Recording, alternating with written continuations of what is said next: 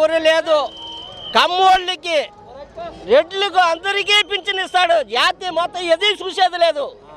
వాళ్ళకి బుద్ధి ఉంటే తెలుగుదేశానికి ఓటు వేయరు. తినరు.